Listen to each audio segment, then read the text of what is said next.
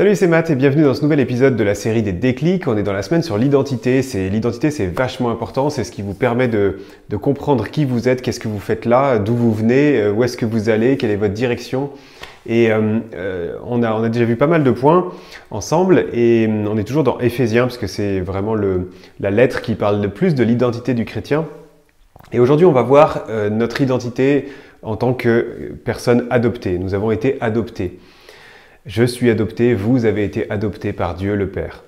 Et pour ça, je vais vous lire Éphésiens 1, verset 5. Dans son amour, il nous a prédestinés à être ses enfants adoptifs par Jésus-Christ. Et Éphésiens 5, verset 1, vous êtes les enfants bien-aimés de Dieu. Un enfant adopté, j'aime beaucoup cette idée euh, et elle me permet vraiment de comprendre qu'est-ce qui s'est passé. Un enfant adopté, je ne sais pas si vous avez eu des amis qui ont adopté déjà ou si vous, avez peut-être vous-même adopté, dans ce cas-là vous le savez. Mais si vous renseignez un petit peu, l'adoption c'est une procédure dans tous les pays qui est hyper compliquée. On n'adopte pas comme ça en claquant des doigts.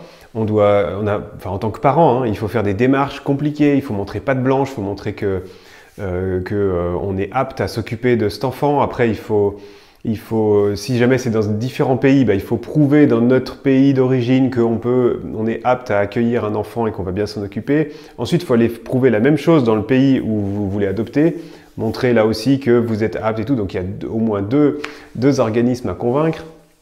Et puis après, il y a des, des, des tests, il y a des entretiens, il y a euh, des, des, on vous demande plein de justificatifs. C'est hyper, hyper long. C'est-à-dire qu'en fait, entre le moment où vous avez décidé d'adopter euh, tel enfant et le moment où effectivement vous allez le tenir dans vos bras, l'enfant, il n'y a qu'à ce moment-là qu'il réalise quelque chose.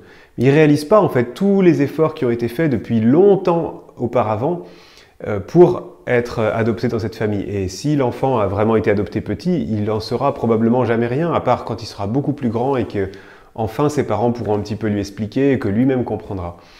Et je me dis, c'est un peu pareil pour nous. On a été adoptés, mais vraiment, ça montre à quel point on, méritait rien.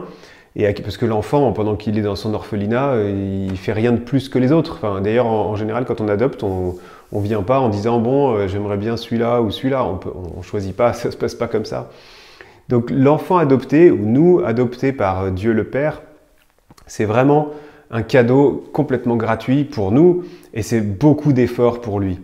Et, euh, dans ce sens-là, je trouve ça vraiment génial de se rappeler qu'on a été adopté, on a été désiré, il a fait, tout ce qu'il fallait, il a payé tout ce qu'il fallait pour qu'on puisse être adopté. Donc on a un nouveau papa, on a aussi un nouveau grand frère, puisqu'on a Jésus comme frère.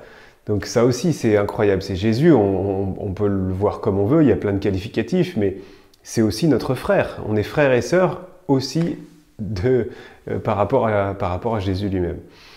Donc voilà, rappelez-vous de tout ça. Si on refait la liste, j'ai plus tout en tête, mais on est enfant de Dieu, aimé et béni.